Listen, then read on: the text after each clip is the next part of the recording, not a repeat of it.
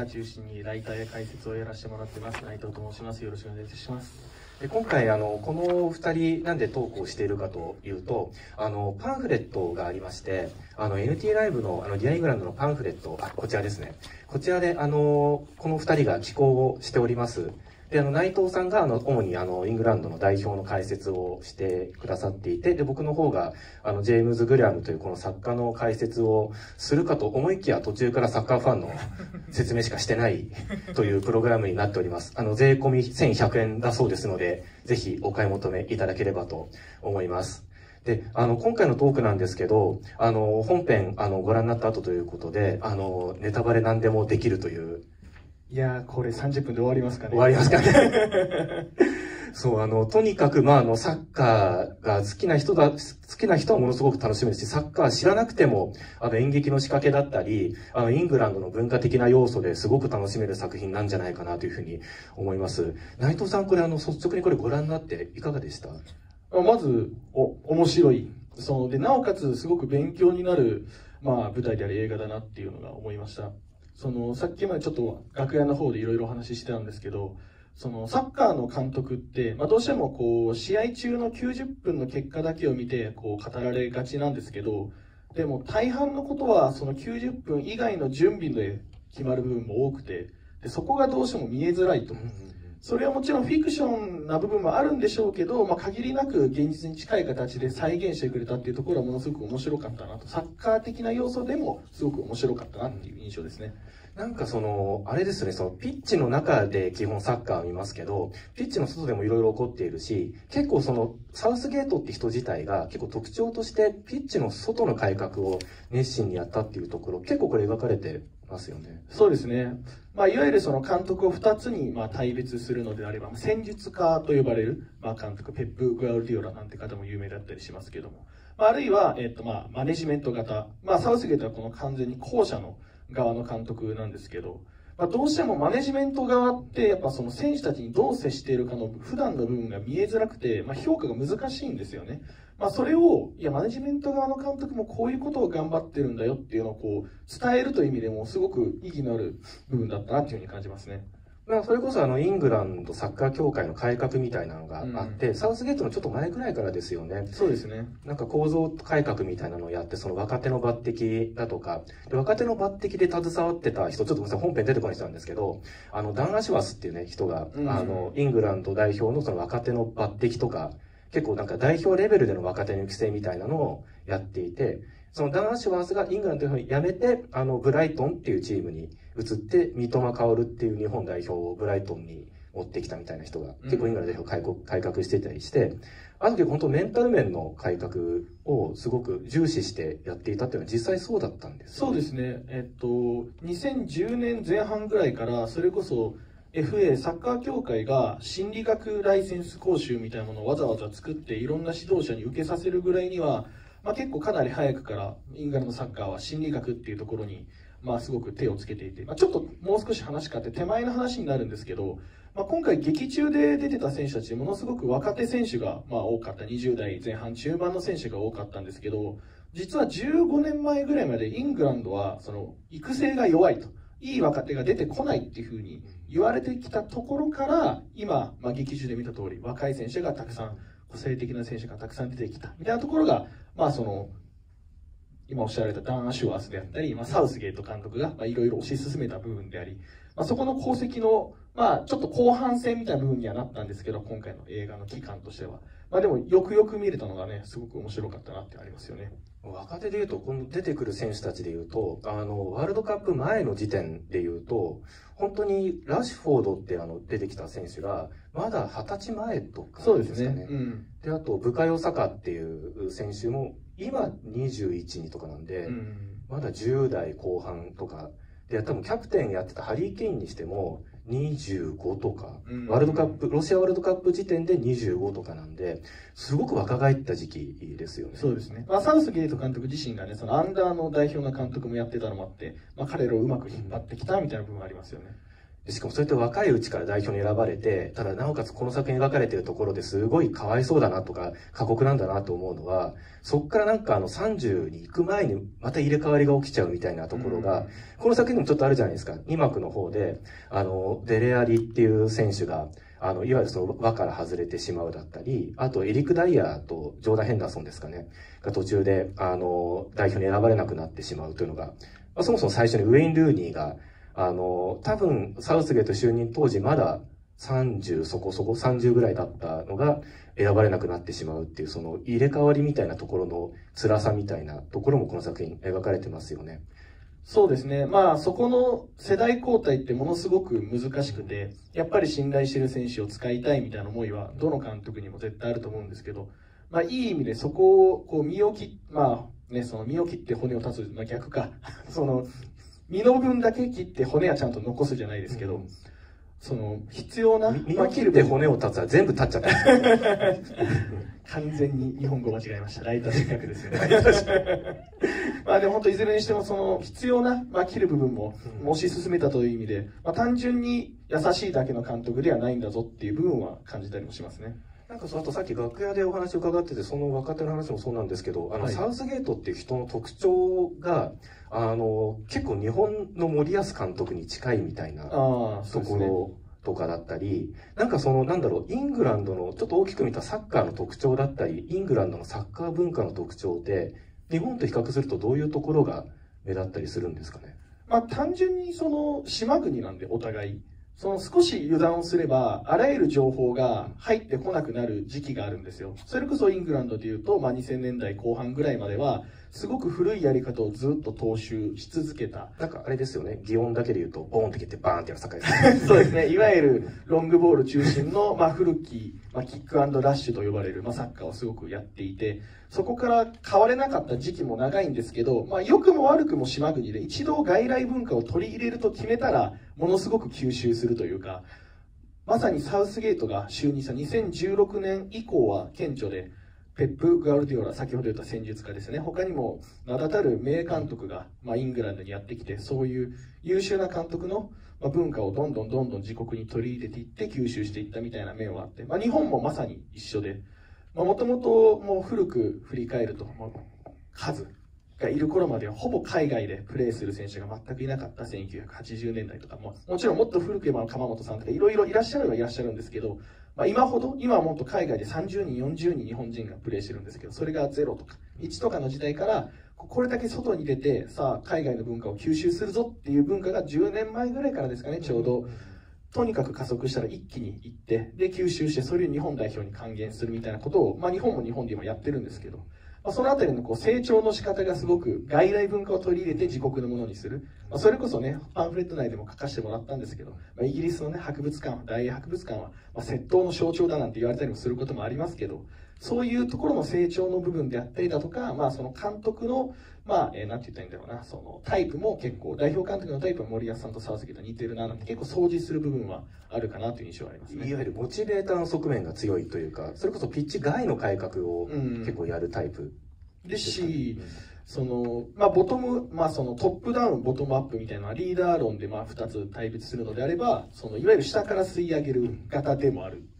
っていう意味でも、まあ、この4分割でも完全に一緒で、で、なおかつ、その、どうしても戦術の部分が少しおろそかになって、どちらかというと、チームマネジメント、モチベーティングみたいなところに重きを置いているところもそうですし、まあ、かなり似てる監督だなという印象がありますね。うん逆にちょっと違うところで言うと、あの、多分日本以上に僕の印象ですけど、すごくなんかクラブチーム同士のライバル関係が激しいっていうのがイングランドのサッカーの特徴であって、で、結構このね、あの、映画の作品の中でも、あの、結構クラブチーム同士で固まるなみたいなところがあったりとか、あと結構その各チームの、例えばあの、なんかあの、二人このチームにはジョーダンいるなってデレアリがいじるシーンがあって、で、あそこはあの、ヘンダーソン、ジョーダン・ヘンダーソンっていうのと、ジョーダン・ピックフォードが二人ともジョーダンっていう名前で、この二人、あの、ヘンダーソンはディバプールっていうチームにいて、ピックフォードはエバートンっていうチームにいるんですけど、これあの、エバートンとディバプールってライバル同士なんですよね。そうです。まあ、日本でいう阪神巨人みたいなね、形ですかね。で、あの、デレアリが、じゃあ、君たちベストメイトだねって言ったら、うん、ヘンダーソンが、ははって言われてすごい嫌な顔するっていう。あれ、本当に皮肉ですよね、あれね。まあ、そもそも、えっと、サッカークラブの成り立ちをから話すと、そもそも協会が、協会の、まあ、スポーツクラブみたいなところから始まってたりするところも多くて、そもそもイギリスの、えっと、ダービーマッチ、いわゆる同じ土地同士でのチームの対戦って、そのプロテスタント対カトリックみたいな側面もあったりするんですよ。全クラブがそうではないんですけど。なんで、やっぱりかなり宗教的な、こう、険悪さが、宗教的対立に近い険悪さが、どうしても選手間でも起こりやすくて、やっぱそこをうまくまとめるっていうのはね、難しかったりもしますし、そういうのを知った上で見ると、あ、やっぱこことここ、劇中でもあんまり話してないなとかが見えてきたり、あ、和解したんだとかが見えてきたり、かなりそこは重要な要素ですよね。そうですね。なんかその、イングランドの人ってやっぱりどうなんですかねやっぱりマイチームみたいな、その応援してるチームがいつ代表ってどの程度応援してるんですかねまあでもやっぱり、かなり、その、代表愛が強い方だと思います。あの、かなり代表愛が薄い国とかもあって、まあ例えばベルギーとかだと、どうしても同じ一つの国でも、あ複数の言語が公用語になってる関係もあって、同じそのベルギー代表内で派閥ができやすいとかもあったりもするので、そういう意味ではかなり愛国心が強いタイプの国だと思いますし、でもその頑張ろうっていう気持ちが時には忘れ違ったりするのもな代表戦の面白いところではあるんですけど。そうですね。あと、ここのなんかあの、作品の中で描かれていることで言うと、あの、まあ、クラブチームの対立もそうなんですけど、あの、結構なんだろう、そのサウスゲート自身の、その、人生だったりとか、もともと PK 戦を失敗して、で、あの、最後、やっぱりその、あの、ユーロで PK 戦で、あの、負けてしまったっていうところがありますけど、PK 戦ってサッカーの試合において、結構、どの程度、例えば練習で普段どれくらいやるのかとか、結構どういう位置づけなんですかね？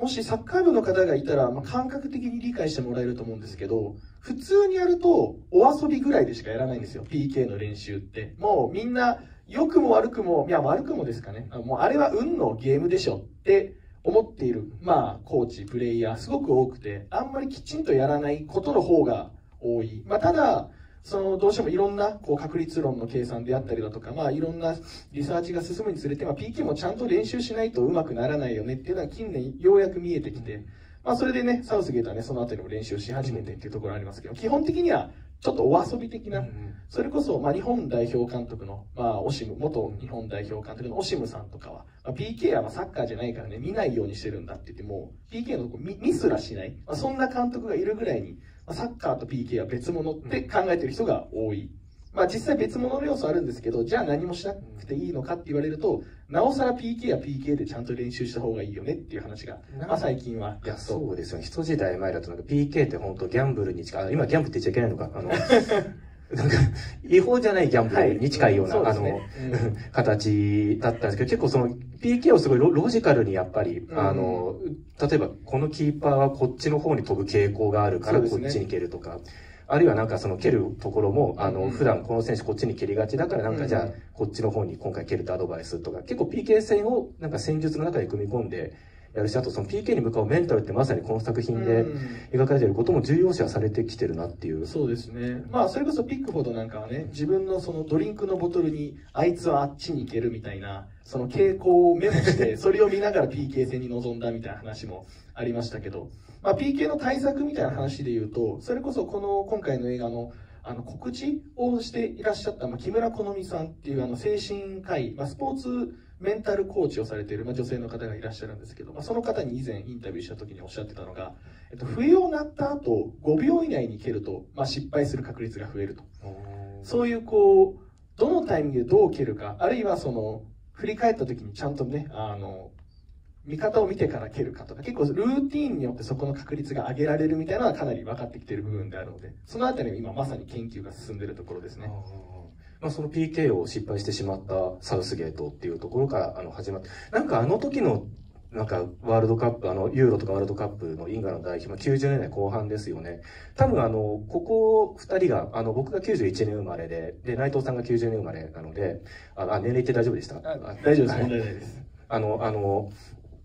リアルタイムでは知らないけれども、なんか、こちらが結構その、サッカー見るようになった時にギリギリまだ現役だった人たちがあの時代結構いて、そうですね。ただ、サウスゲートっていう人がまた絶妙なポジションでしたよね。なんかあの、サウスゲートの3個上に、ちょっと名前出てきたポール・ガスコインっていう当時のアイドル、アイドルって言ったのかわかんないけど、あの、有名なフォワードがいたり、で、あと、あの、シェリンガムっていう、まあ、4歳上のフォワードがいたり、で、あの、サウスゲートの4、5個下にベッカムが出てきたみたいな、その合間にいる人で、決して目立ってはない。そこも森保さんとそっくりなんですよね。そうなんですね。もともとプレイヤーとして代表これ大丈夫ですよ。森保さんに聞かれたらまずい。大丈夫です。あの、間違いない事実だと思うので。あの、お会いさせてもらったこともあるんですよ。はい、あの、僕、息子さんが YouTuber されてるんですけど、と仲いいのもあって、まあ、ご本人にもご挨拶させてもらったことあるし、まあ、その、こういうこと言っても全く気にされない方で。あ、そうなんですね。あの、本当に、あの、外野の声というか、その、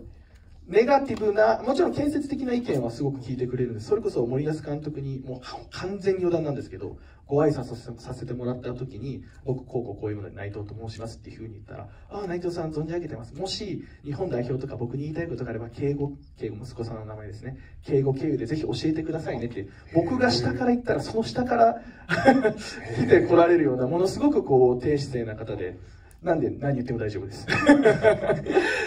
まあ、なんで、まあ、ちょっと話戻して、まあ、森保監督も、いわゆるストライカーでトップ下で、スターだったかって言われると、まあ、そういうタイプではむしろ黒子側の、まあ、監督だったんですけど、だからこそできるバランス感覚があるというか、まあ、サウスゲート監督もいわゆるザ・ストライカーでもすごく点を決めてきたみたいなタイプではないんですけど、そういう、こう、王様じゃなかったからこそできる黒子の役割を、まあ、現役時代はプレイヤーとして、今は監督としてやっていらっしゃるのかなっていうところがありますね。まあ、サウスゲート、あの、まあ、まさに今まだ監督を、まだというか今も監督、現役監督で、はい、で、これ出てきてるあの登場人物の選手も、まあ、あの、スター選手、あるいは黒子の選手含め、あの、まだ現役の人がほとんどで、これ描かれてるのが大体まあ2016年ぐらいからで選ばれるようになってから、あ、一個思い出した、あの、すみません、なんか、あの、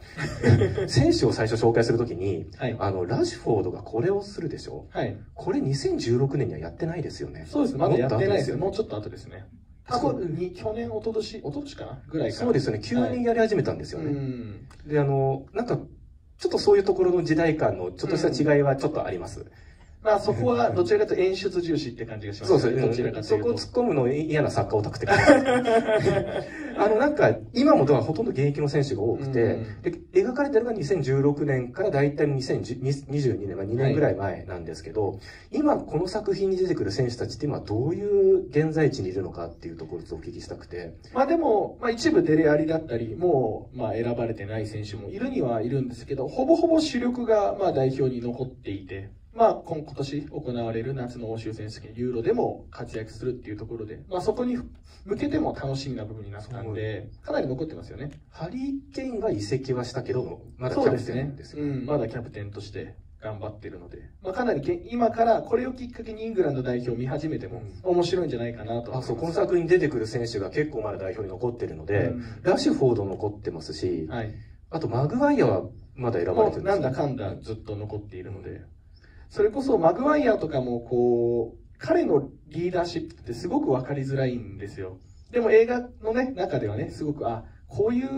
人柄でこういうふうにチームに作用してたんだっていう部分が見えたりして、そこの選手のキャラクターみたいなところも見てて面白かったですよね。マグワイアね、なんか意外と自分から言い出して、なんかあの場を進めようとしてるっていうのは、それとないセリフで結構、それとなく書かれてますよね。ねあの、岡崎慎司選手があのレスターにいた頃、まあ、その当時、マグワイア選手もレスターにいたんですけど、で、以前、岡崎選手にインタビューした時におっしゃってたのが、まあ、マグワイアはすごく、こう、闘志をむき出しにして引っ張るようなリーダーではないけど、すごくモデレーターみたいな、まあ、うまくこう議論をコントロールするのは得意なリーダーだねっていうふうに、まあ、岡崎選手がおっしゃってたんで、まあ、まさにそういう部分が出てたんじゃないかなっていう感じがします。まあ、それこそね、キャプテンで言うとやっぱりその闘将っていうか、そのなんか戦闘機ってうわーって、あの、ど、どっかの昔のキャプテンみたいに敵チームの選手にやられたから報復したし削りに大敵覚醒したみたいな、ロイ・キーみたいな、そうですね。そういう人もいれば、あの、マグワイアもね、ユナイテッドっていう、マンチェスターユナイテッドってチームのキャプテンをやっていて、やっぱりモデレータータイプってなかなかちょっと、そのリーダーシップは見えづらいところが、うん、見えづらいですね。だからこそ、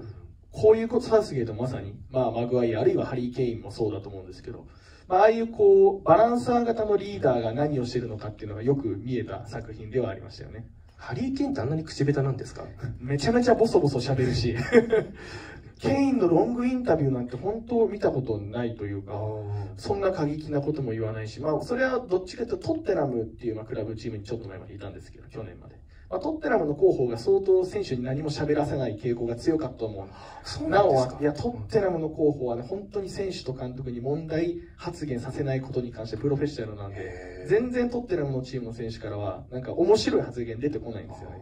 まあまあ、そこは、まあ、ある種、口下手な系としては助けられてた部分もあったんでしょうけど、まあ、いずれにしても、まあ、まさにあんな感じというところですね。あれですよね、結構この作品、実はトッテナムホットスパーに当時いた選手は多いんですよ。あの、ハリー・ケインそうだし、エリック・ダイヤーがそうだし、あと、キャラン・トリッピア。そうですね。トリッピアってそういえばセリフないですよね。あの、紹介されてたけど、あの、右サイドバックで、あの、サイドバックでディフェンスだけど、ベッカム、ベッカム並みにキックがうまいっていう選手。で、スパーズ関係の選手すごく多い。あ、トッテナムホットスパーの愛称がスパーズっていう愛称なんですけど、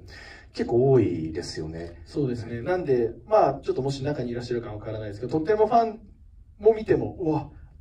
ぽいわ、インタビューと話し方似てるみたいな、そのモノマネ芸人を見て、うわ、似てるっていう楽しみ方も結構ありますね。これ、他の選手どの程度似てます？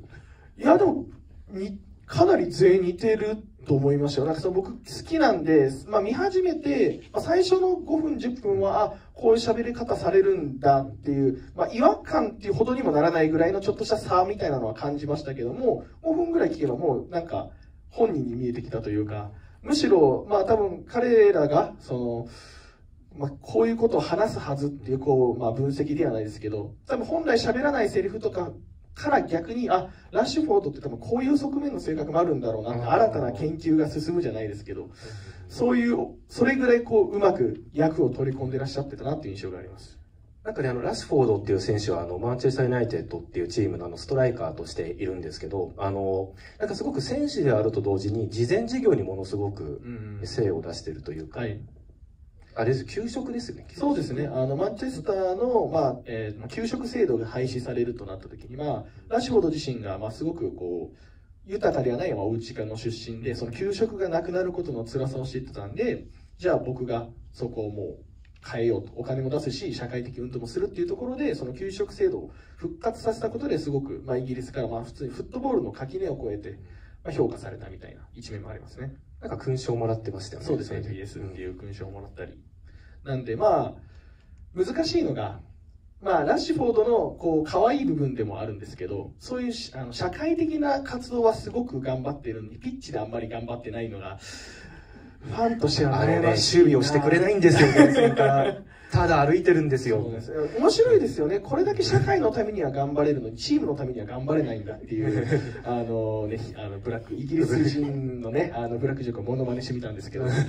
まあね、そういうところも時折ね、あの、まあ面白いなっていう部分はあれありますね。あれ、そ橋本の話続きますけど、あの、はい、あれですよね、あの、かといって、うん、7歳の頃からマンチェスターユナイテッドってチームにいる選手なので、はいすごいなんかあの、ものすごくなんか悪口言いながらもユナイテッドのサポーターはラッシュフォードが好きみたいなところがあって。まあそうですね。しかも何にもしないと思いきや時々すごいゴール決めたりするんですよね。まあ、だから僕はそのマンチェスターユナイテッドっていうチームが好きなんですけど、毎週のように心を良くも悪くも揺さぶられるそういう魅力的な選手だったりもします。なんかあの、結構その、この作品結構、あの、ピッパグランジと喋るシーンとかもあって、あの、あんまりもしかしたら、あの、なんだろう、自分のメンタルのコントロールで結構悩むところが多い選手なのかなっていうのは、なんとなく、あの、そこサッカーを知ってると、結構幸福調の波が激しい選手じゃないですか、ラッシュフォードって。なんか、そこでなんかピッパグランジとなんか話し合ったりみたいなシーンもあったりして、あとまあ、デレアリっていう出てきた選手も、あの、ピッパグランジのことはものすごく信用していて、チームの一員だったみたいな。なんか、あの二人とか実際は知らないけれども、こういうこと話してそうだな、ピッパとっていうのはすごくこの作品多いですよね。そうですね。そこが本当に見えてない、普段見えない部分なので、まあ取材とかも重ねてこういうこと喋ったんだろうなっていうのが見えたのは、すごく面白かったなと思います。あとなんかあの、なんだろう、さっき言ったその、ララッシュフォードが例えば社会、あの、事前事業をしているというところとか、はい、結構サッカーとそれ以外の文化の結びつきってイギリスすごく強いなっていう印象があって、はい、内藤さんはイギリス行かれてましたよね。はい、僕2012年に1年行ったのと、その後も8回かな、合計9回ぐらいはイギリスは足を運んでます。なんかサッカー以外のイギリスの魅力というか、イギリスの文化の特徴って内藤さんの目から見たところで何かありますか？ああ、でもなんか、どの文化も似てるなと思ってて、まあ、例えば食文化を切り取っても、ここ10年でラーメンがめちゃくちゃ美味しくなったんですよ。昔まずかったですよね。めちゃくちゃまずかったんですけど、それこそ一風堂がね、その進出したりだとか、でそれを真似たのがイギリス発の豚骨ラーメンみたいなものができたりして、今や普通にそのまあ日本食と中華料理の合いの子みたいなチェーン店があったりだとか、食文化もちゃんと他国の文化もねして強くなっていくんだっていうのがすごくそこも似てて面白いですよね。あ、そうだ、2012だとまだ結構この作品、あれですよね、なんかサッカー以外の、あの、社会問題とか政治問題がさらっと差し込まれるっていうところも面白くて、はい。はい、例えばあの、2016年のサウスゲート就任と同時に、あの、その前の、あの、首相就任、テリーザ・メイの首相就任があって、はい、そこからブレクジット、EU 離脱の流れ加速していったっていうところがありますけど、その時の議論で盛り上がってた頃ってイギリスは行かれてはない？えっと、直前に行きました。その、2020年にまあコロナ禍が来たと思うんですけど、2019年の年末に行ったので、本当にちょうどまさにその渦中って感じでしたね。なんかあの辺の描き方もさすがイギリスって感じですよね。だから、本当に変化の多かった数年だったと思うんですよ。ここ6年というのはコロナ禍しかり、その戦術的な進化もしかり。サッカー以外の面しかり。SNS の普及っていうところが加速したのもここ数年だと思うので。まあ、そういう中でもう本当さアスリートと、まあ、メンタルみたいなところはもう切っても切れない関係によりなってきた中でそこはやっぱ心理学者ピッパ・グランジの存在感はまあ途中でねその抜ける描写とかもありましたけどやっぱり必要だったんだろうなっていうのはすごく感じましたしそこを描いたっていうのはすごく面白かったですよね。ピッパって、あ、そうか、途中で抜けたってこの作品でも描かれてましたけど、はい、実際本当にあの、ユーロまではいなかったんですそうです、途中で、はい、抜けるという形になって、そこが何があったのか、もうちょっと詳しく教えて、ね、描いてもらえたら、より面白かったのは、もしかして大人の事情もあったのかなとか想像したりもしつつ。うんなんかその、この作品だと結構、例えばスターリングが途中で、あの、自らが受けた人種差別について訴えるだったりとか、まあその、イングランドとは何か、あるいはイギリス人、イングランド人とくくられるというか、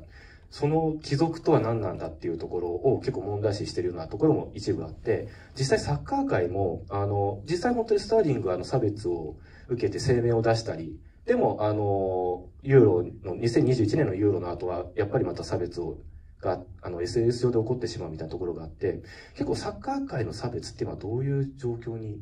あるんですけど、人種差別とか、あるいは、あるいはこれで言うと、あの男性、男子サッカーと女子サッカーの違いみたいな、扱われ方の違いみたいなところもあったりしましたけど。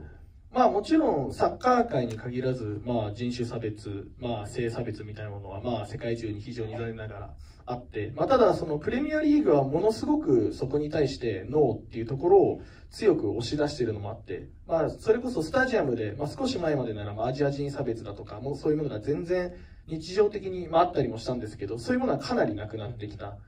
で、なおかつ、あの、女性、まあ、と男性サッカーみたいなところの差で言うと、今本当に日本では考えられないぐらいヨーロッパって女子サッカーが盛り上がってて、僕が、えっと、直近年末に1ヶ月半ぐらイギリス行ったんですけど、アーセナル対チェルシー。まあ、男子、まあ、その強豪チームの、まあ、対戦といえど、女子でも5万人キャパのスタジアムフルだったんですよ。に日本だと、日本の女子サッカー多分、ちょっと僕も詳しくはないですけど、1000人、2000人ぐらいの多分規模感でやってる中、うわぁ、もうこんなに埋まるのかっていうのは結構驚きとしてはあった。多分、ただ券配っても集められる量ではないのに、しかもそれをちゃんとチケットを売った上で、ここまで集めれてるっていうのは相当、そのあたりは進んでる国だなっていうのは感じますね。なんかそうですね。あと、日本のななでしこと呼ばれる、あの、女子サッカー、男子サッカーの違いで言うと、結構その、チームがそもそも違ったりしますけど、男子サッカーと。あの、イングランドのサッカーチームって、あの、いわゆるその、クラブチームが男子チーム、女子チーム両方持ってることがほとんどなんですよね。うそうですね。かなりそのあたりは気をつけてるし、まあ、それで言うと、えっと、まあ、先ほど名前があったトッテナムっていう、まあ、ハリー・ケインがいたクラブがあるんですけど、まあ、トッテナムっていうクラブはもともとかなり荒れたエリアにある、まあ、クラブチームで、それこそ2010年代前半、まあ、2000年代後半ぐらいまでは、アジア人が行くと、警備員が完全に独断でですよ。アジア人は帰れって言ってチケット持ってるのに入れてもらえなくてこう泣く泣く試合を見るのを断念したファンがいたとかがあるぐらい結構その差別的なことも起こるようなエリアだったんですね、まあ、ただそんなクラブが今や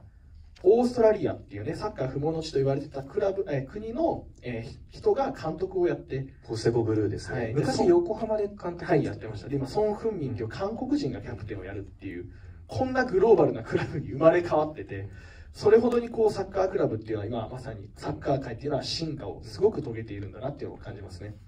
まあ、それこそ差別なり社会問題が繰り返されつつも、まあ、あの、まあ、前を向くって言い方がいいのかわからないですけど、はい進んでいく。最後の終わり方がね、結構その、あの、スイートキャロラインで締めるっていう。あれ実際、あの、サッカー代表の試合で、あの、勝った後の、あの、アンセムとして歌われた歌ではあるんですけど、なんか、あの、いい方向に向かっていけばいいなっていうところの、なんか思いはすごく感じる終わり方。そうですね。まあ、その結果がユーロで見られると思うので、まあ、そこもまた楽しみかなっていう思います、ね、これ予選敗退したらどうしてくれるんですか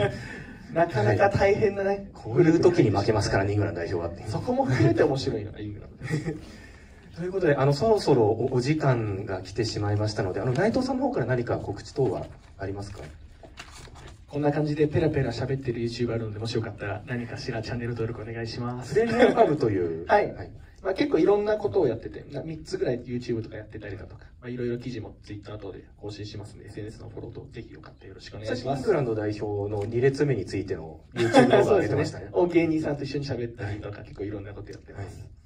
で僕の方からもちょっと一つ、あの、全く NT ライブ関係ないんですけど、あの、来月4月の17日から、下北沢の劇小劇場というところで、アルスターアメリカンという作品、あの、僕が翻訳を担当して、あの、下北沢で上演されます、あの、デビッド・アイルランドという北アイルランド出身の作家で、あの、その、それこそあの、差別の問題だとか、ハラスメントの問題だとか、あの、有害な男性性みたいなところを、あの、ブラックユーモアで描いた作品ですので、かなり胸くそ悪い作品ですけど、あの、もしよろしかったら、あの、ぜひ、あの、調べてきていただければ嬉しいです。ということで、大丈夫ですかね。そういうことで、じゃあ、本日はお越しいただいてどうもありがとうございました。ありがとうございました。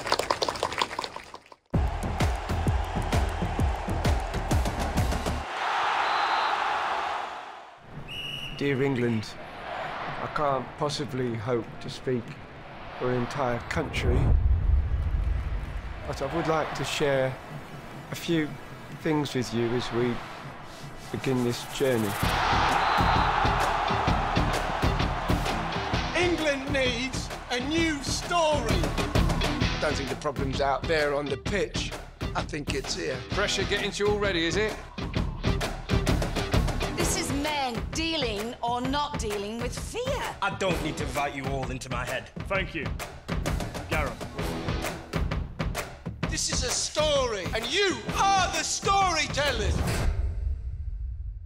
This feels like a different England. You know, fearless, having fun out there. Well, it's all the uh, mental preparation. What is all this we're hearing on the top floor? Share your doubts, feelings. Come on, England! Come on, England!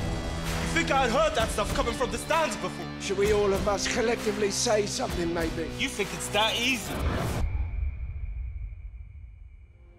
You haven't walked away from that spot. You're still there. I think I may have let them down. Your clock is still ticking. Beginning, middle, end.